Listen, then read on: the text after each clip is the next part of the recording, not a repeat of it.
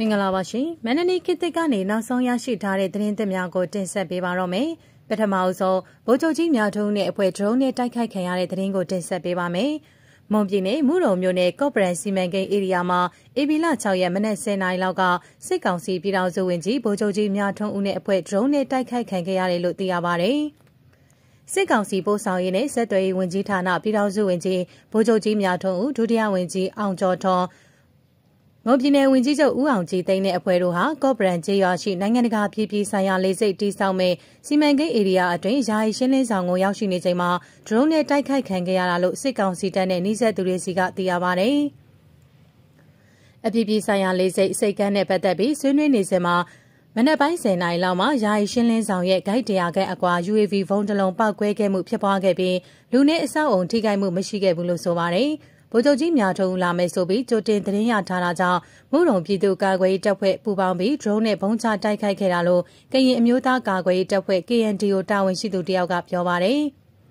မူရုံလေးစိတ်သစ်စီမံကိန်းကိုများထုံးလာမယ်သိထားရတာရတာခတိုင်းမှုပါပါမယ်ဆိုတာနဲ့ဒီကောင်ကရတာခရောက်ပြီးရပ်ပိုင်းအတွင်းမှာဓမ္မတကိုမိရှို့ခဲ့တာဗျအဲဒါကြောင့်လက်တုံပြန်တာလက်စားချေတာမဟုတ်ပေမဲ့တရားမျှတမှုတခုရနိုင်ဖို့အတွက်ကျွန်တော်တို့နဲ့မူရုံပကဖတေချာစီစဉ်ပြီးလှုပ်ဆောင်ခဲ့တာပါ 10နာရီ29မိနစ်မှာသူတို့ရှိနိုင်မဲ့နေရာကိုပုံသီးတစ်လုံးချခဲ့ပါတယ်ထိခိုက်မှုကတော့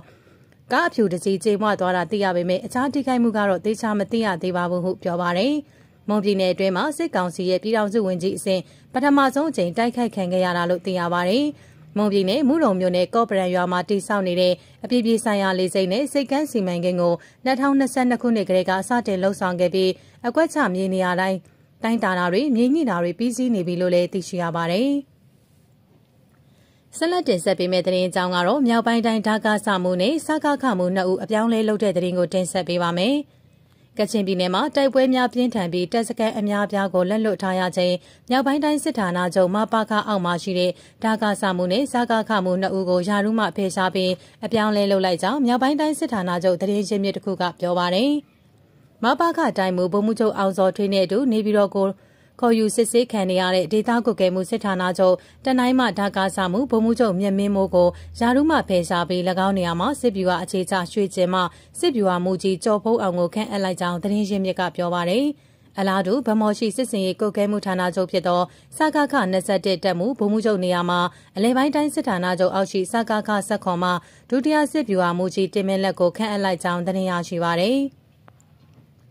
ကချင်လုံးမြောက်ရေးတပ်မတော် KIA နဲ့မဟာမိတ်တို့ရဲ့ထိုးစစ်များအောက်တပ်စခန်းအများပြားသိမ်းပိုက်ခံနေရခြင်းယခုလဇန်ပိုင်းမှာတိုင်းမှုဗိုလ်မှူးအောင်စောထွေးနဲ့အတူဓာကဆမှုဗိုလ်မှူးချုပ်မြတ်မင်းမိုးစကခသုံးမိုးကောင်းမြို့အခြေဆိုင်တပ်မမှုတို့ကိုစစ်ကောင်စီကနေပြည်တော်သို့ခေါ်ယူစစ်ဆေးနေခြင်းဖြစ်ပါတယ်။ရင်းနောက်မပခတိုင်းစစ်ဌာနချုပ်အောက်ရှိတိုင်းစစ်ဌာနချုပ်အလက်စားနဲ့အဆင့်တူတဲ့ဒေသကွက်ကဲမှုစစ်ဌာနချုပ်ဓာကဆမှုဗိုလ်မှူးချုပ်မြတ်မင်းမိုးနေရာအပြောင်းလဲဖြစ်လာခြင်းဟုသတင်းရင်းမြစ်ကပြောပါတယ်။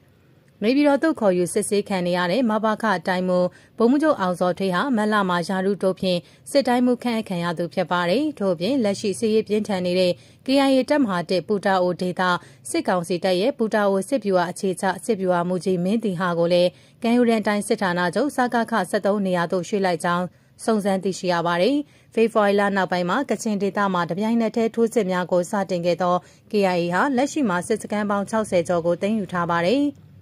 ထို့သို့သိမ်းယူခံရမှုမှာအ धिक တာဝန်ရှိသည်ဟုဆိုကယာရုမှဖယ်ရှားခံရသောစကခ21တက်မမှုတက်မ88မှတက်မမှုတို့ကိုနေပြည်တော်အရန်အင်အားသို့ပို့ဆောင်လိုက်ကြောင်းစုံစမ်းသိရှိရပါသည်ထို့ပြင်စစ်ကောင်စီခက်ကချင်ပြည်နယ်စီမံအုပ်ချုပ်ရေးကောင်စီဝင်နေလုံဝင်ကြီးဗိုလ်မှူးကြီးကျော်သူရသည်လည်းနေပြည်တော်သို့ခေါ်ယူစစ်ဆေးခံနေရပါတယ်။ KIA ဟာလက်ရှိမှာစစ်ကောင်စီတပ်ရဲ့တပ်စခန်းပေါင်းများစွာဖြင့်ပြီးခဲ့တဲ့ရက်ပိုင်းမှာစတင်ကမြန်မာတရုတ်နယ်စပ်ကလွယ်ကျယ်နယ်စပ်မြို့ကိုလည်းသိမ်းပိုက်ထိန်းချုပ်ထားပါတယ်။ နိုင်ငံတော်ဝန်စစ်မျက်နှာဖွင့်တိုက်နေရတဲ့စစ်ကောင်စီဟာစစ်ရှုံးနေပြီးပြည်내ရဲ့တဝက်ခန့်ကိုလက်လွတ်ထားရသော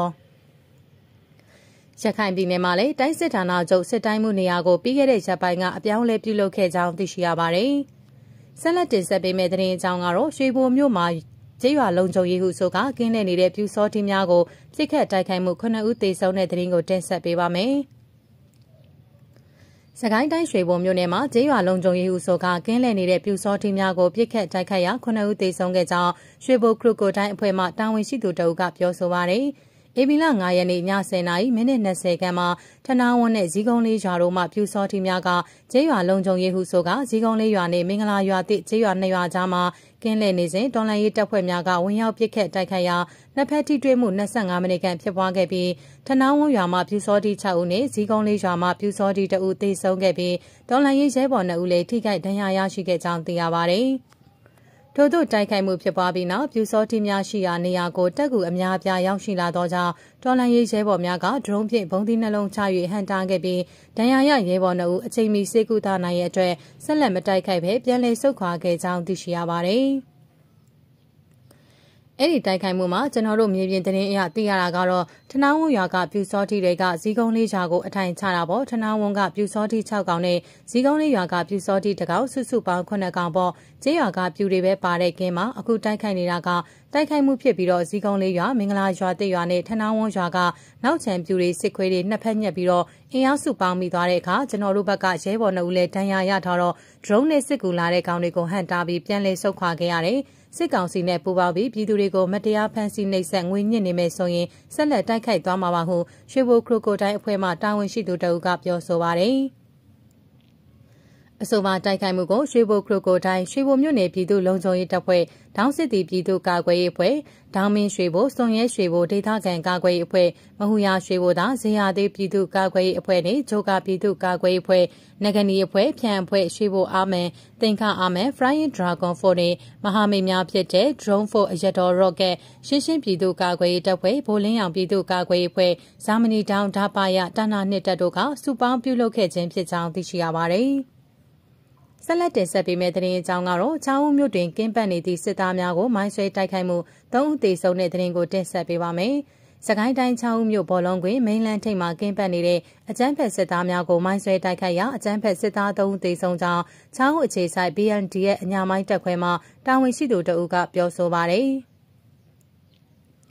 ဧပြီလ9ရက်နေ့ညပိုင်းမှာချောင်းဦးမြို့ဘောလုံးကွင်းမိန်လန်းထိပ်မှာကင်းပတ်နေတဲ့အကြမ်းဖက်စစ်သားများကို BND ရဲ့အညာမိုင်းတပ်ခွဲကမိုင်းဆွဲတိုက်ခိုက်ခဲ့ရမှာစစ်သား3ဦးသေဆုံးခဲ့ကြောင်းမိုင်းဆွဲတိုက်ခိုက်မှုဖြစ်ပွားပြီးနောက်အကြမ်းဖက်စစ်သားများကလက်နက်ကြီးများဖြင့်ပြန်လည်ရန်တမ်းပစ်ခတ်ခဲ့ကြောင်းသိရပါတယ်။အကြမ်းဖက်စစ်သား3ဦးသေဆုံးခဲ့ပြီးချောင်းဦးအခြေဆိုင် BND ရဲ့အညာမိုင်းတပ်ခွဲမှတာဝန်ရှိသူတဦးရဲ့ပြောပြချက်အရသိရပါတယ်။ မင်းညကမိုင်းဆွဲတိုက်ခိုက်ခဲ့တာမှာ၃ကောင်ကတော့တေဆုံးနေခွေးတစ်ကောင်ကတော့ဘိုက်ကိုထိမှန်ပြီးတစ်ကောင်ကတော့ပေါင်ကိုထိတယ်ပြတအူးပွဲချင်းပြီးတေဆုံးနေဟုချောင်းဦးအခြေဆိုင် BND ရဲ့အညာမိုင်းတက်ခွဲမှာတာဝန်ရှိသူရဲ့ပြောပြချက်အရသိရှိရပါတယ်